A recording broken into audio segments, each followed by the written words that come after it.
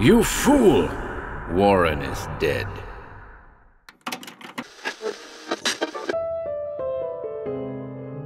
Welcome once again to Horror Babble. It's time for another slice of Henry Kuttner today, folks. This one is called The Watcher at the Door. It's a dark tale concerning the horrible dreams of one Edward Keene. First published in Weird Tales, May 1939. We hope you enjoy it.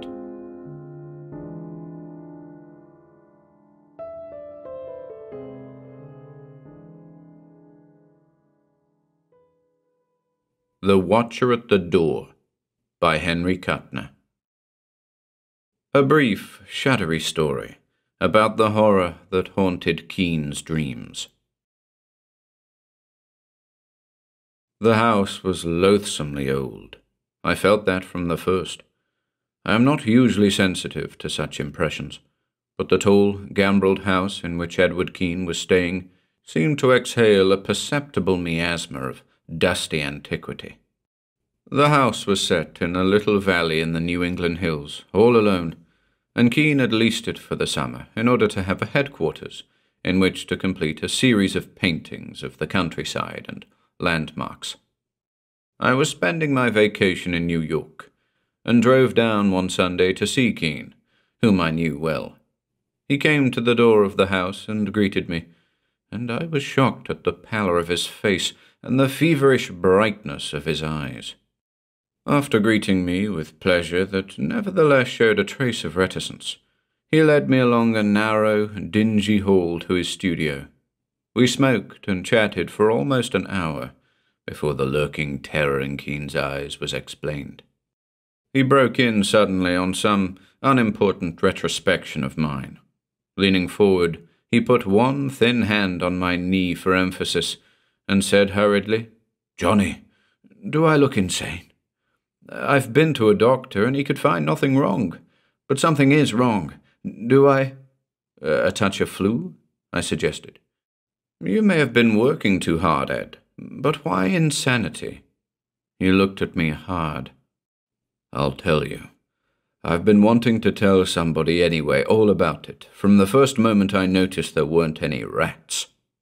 I stared, and he smiled crookedly. This house is very old. A witch was supposed to have died here in the old days, and in houses as dilapidated as this you naturally expect rats. See? I nodded, and Keene's eyes went past me to the doorway. The door, I saw suddenly, was open, although I thought I had closed it on entering. The most horrible expression appeared for a moment on Keene's face, and was gone so swiftly I could not analyze it. I felt an unfamiliar chill creep along my spine as he continued. No rats, no spiders, no insects. There's no life in the house except for me. The woodwork creaks sometimes, though, at night. You're a victim of a bad case of nerves, I said. woodwork creaking. You'll be telling me next there's a ghost in the house. Yes, he said. There is. For a moment, I didn't say anything, and Keene went on swiftly, as though to forestall my comments. It happened the first week I stayed here. You know the long hallway that runs the length of the house? Come here. He got up, motioned me to the door, and stood waiting. I hesitated, and then preceded him from the room, noticing that his eyes were fixed with curious steadiness upon the threshold. The hallway was dark, and looking along it, I got the impression of an incredibly long tunnel, stretching to infinite depths. What am I supposed to see, Ed? I asked. He shrugged and drew me back into the room. Hmm, nothing, I suppose. I could scarcely expect. His white face was intensely serious. Did you see nothing at all? Not even a suspicion of any movement? No, you're coming back to town with me, to a doctor. Always practical, he said, shrugging. I've tried that. It doesn't help. Well, I was telling you what happened. A few nights after I came here, I dreamed. I was very tired and sleepy, but in the dream I moved with a curious lightness, as though not bound by gravitation. My bed's here. He pointed to a cot under the window, and in the dream I seemed to get up and go to the door, which opened very slowly as I approached. Moonlight came in through the window, but in the hall it was black as pitch. I felt my way, running my hand over the wall on the right side of the passage. Remember that. On my right, bare woodwork, and old, horribly old. I felt something under my fingers as I moved along, a carved panel of wood, and, involuntarily groping for the doorknob, my fingers closed over a heavy metal latch of some kind. I hesitated, and then, even in my dream, I remembered. There's no door in that wall. Of course, he said, checking my comment with an uplifted hand. Just a dream. But I can't hope to convey the sense of shock, the horrible disorientation of the moment. Then, too, I heard something that was quite distinctly not the disturbing creaking of the woodwork around me. A soft, rubbing sound, as though of some heavy body scraping itself against the door, and I felt the latch quiver in my hand. Almost involuntarily I compressed the latch, and abruptly the door was flung open, pulled violently away from me. Remember, I could see nothing, just blackness, and two little points of light that sprang into existence just ahead of my face. Amber lights, like the eyes of a cat. Then I woke up. Keene watched me closely, and I forced from my face the concern that I felt. You need a rest, I said. This house is old, but I always thought you were pretty hard-headed, Ed. I laughed, and a flash of anger crossed his face. It was gone swiftly. Trying to laugh me out of it? I wish it would work. No, when I asked you if you saw anything in the hole, I wanted to find out if you saw what I did. And that is eyes. Amber cat's eyes watching me. I can see them now in the doorway. Two disembodied eyes. He began to tremble violently and I realized the intense nervous strain under which he labored. Good God, can't you understand how I've fought against it? Told myself the damned things can't exist? That it's hallucination, and if I don't want to lose my mind, I'll have to ignore them. And they watch, they watch me always. No expression in them, always keeping the same distance ahead of me. But they can't cross the threshold of this room. I don't know why. I saw that Keene was mad, or going mad. He got up and strode about the room, his gaze continually returning to the doorway. I went to the door, intending to close it, but his voice stopped me. No, don't! It's worse when it's shut. I can't tell what it's doing, but I know it's behind there. And when I open the door, it'll be waiting. If it would only give me some hint of its purpose, what it wants, what it intends to do. Am I mad, Johnny? No, I said. But you're on the right road, unless you come to town with me and see a doctor. A specialist, maybe. It's no good. His haggard face was covered with perspiration. It follows me. Even in the doctor's office, I could see those two cat's eyes watching. He couldn't see them. Gave me pills, the fool, and wanted to send me to a sanitarium. Keene laughed wildly. Oh, no, I know what would happen there. I'd break and start raving, and then they'd put me in a straitjacket, and I'd have to lie there and watch the eyes without being able to move. I'd go crazy then, all right. Listen, Ed, I commanded. You've got to snap out of it. You've got sense enough to know that this is a hallucination, caused by overwork, perhaps. The thing to do is to get you in good condition, not your imaginary eyes. Keene was watching the doorway. Imaginary eyes, he repeated. Imaginary eyes. God, what a huge joke. The worst of it is I don't know whether I'm right or you are, whether I'm going crazy or. He stopped suddenly, a violent shudder shaking his slender frame. His dark eyes were haunted. Overwork might have caused it, I said, realizing that I had to get Keene to a doctor as soon as possible. Or nervous strain, eh? I've not been under a nervous strain, he murmured. Not till that dream.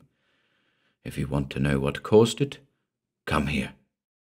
There was another door in the room, and he led me to this, opening it.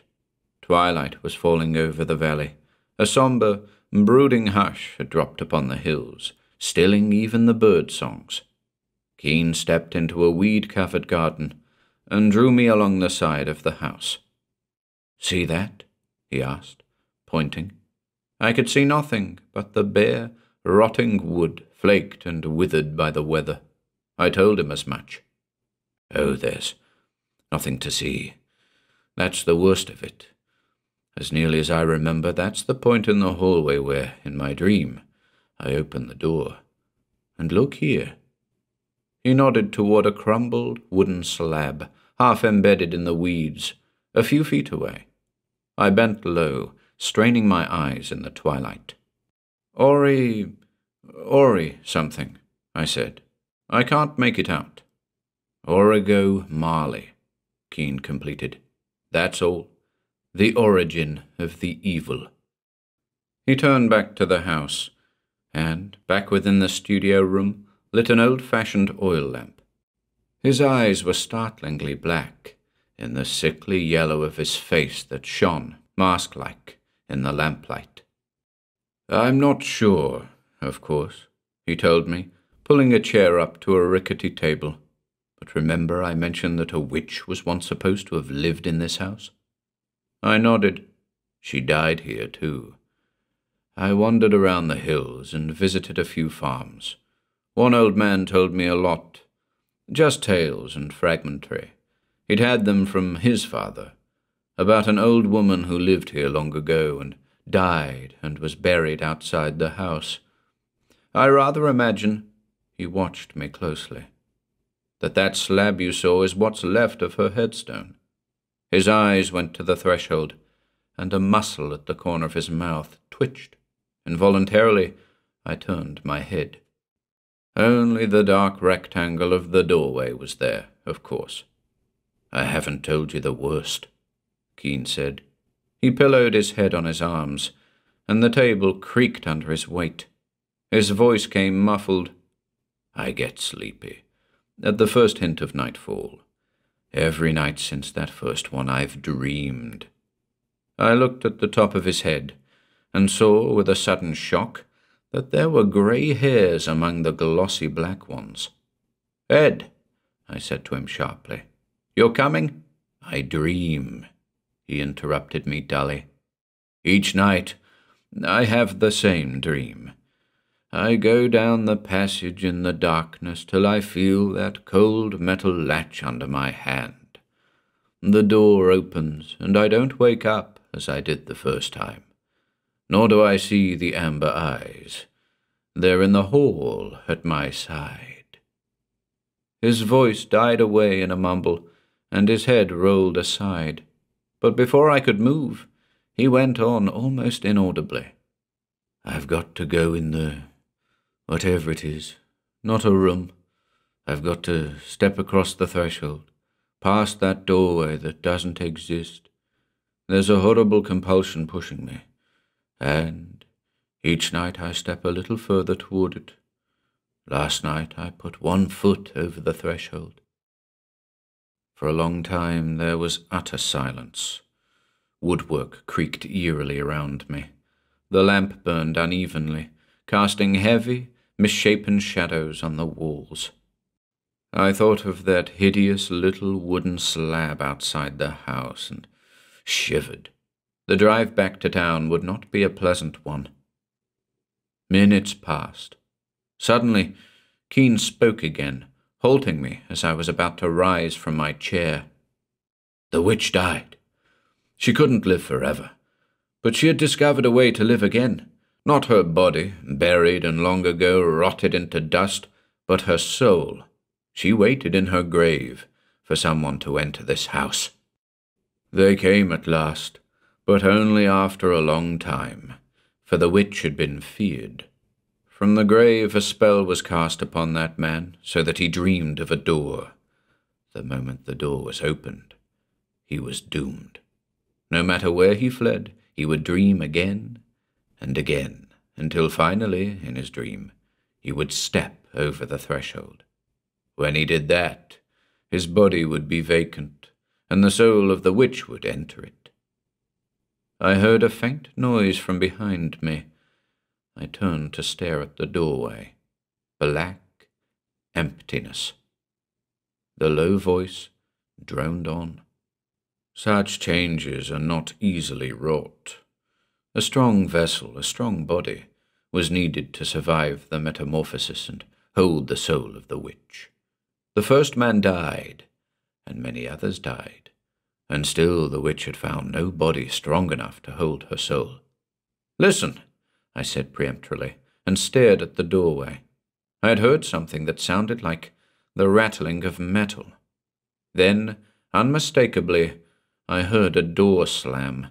I got up quickly, realizing that my breath no longer came evenly. Without moving, I waited, watching the doorway. But there was no further sound. Keene had lifted his head and was staring at me. For a moment, the horrible thing escaped me. Then I saw, and, I think, I screamed. Keene's face had changed. Like a dark veil, impalpable and intangible, an expression was upon it that I can only describe as sheer evil. It was still Keene's face, but it was at the same time the face of a demon. But it wasn't that which sent abysmal horror lancing through me, making me shudder with frightful nausea. The eyes that stared from Keene's ghastly face were no longer dark. They were amber cat's eyes. It is difficult for me to remember what happened after that. I think the monster that was Keene rose up from the table and smiled very terribly, piercing me with those demoniac eyes. I think I screamed again as I remembered the sound from the hall, the sound of a door slamming, and realized that Edward Keene had dreamed again and had stepped over the fearsome threshold he had dreaded so much and I know that the light suddenly faded from the amber eyes, and a lean body collapsed on the floor and lay quite still. And when I finally forced myself to feel for a pulse, there was none. That was two nights ago. I left the witch house and drove like mad to the city, seeking only to escape the tentacles of fear that had closed around me. As I drove, I kept remembering words I had heard. A strong body was needed to hold the soul of the witch. The first man died, and many others died. What thing had spoken to me with Edward Keene's lips? There can be but one answer, and it is an answer so fantastic that no sane man could entertain the possibility of its accuracy. But I am no longer sane. At least I hope I am not sane. For if what I saw in the witch house was more than the crazy phantoms of a disordered mind, the fate that overtook Edward Keene is one on which I dare not speculate. Also, sitting here alone in this modern hotel room in Boston, I keep remembering certain phrases. From the grave a spell was cast on that man, so that he dreamed of a door. The moment that the door was opened, he was doomed he would dream again and again until finally he would step over the threshold. I dreamed last night. In a modern hotel in modern Boston, I dreamed of a dark passage along which I fumbled my way, and of a latch that turned beneath my hand, and of a door that opened. As I write, my eyes stray to the doorway of my bedroom and the amber points of light I see there. It is twilight. An irresistible drowsiness has crept up and overwhelmed me. My head nods continually, and my eyelids are very heavy. Presently I shall fall asleep, and dream of a threshold beyond which waits horror unimaginable. And that is something I cannot and dare not face. So, I suppose, I must kill myself.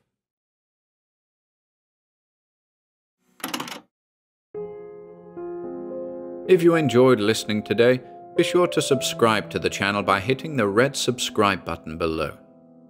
After doing so, click the bell icon next to the subscribe button to receive new content notifications. If you'd like to support our work and receive exclusive perks, consider becoming a channel member by clicking the join button below.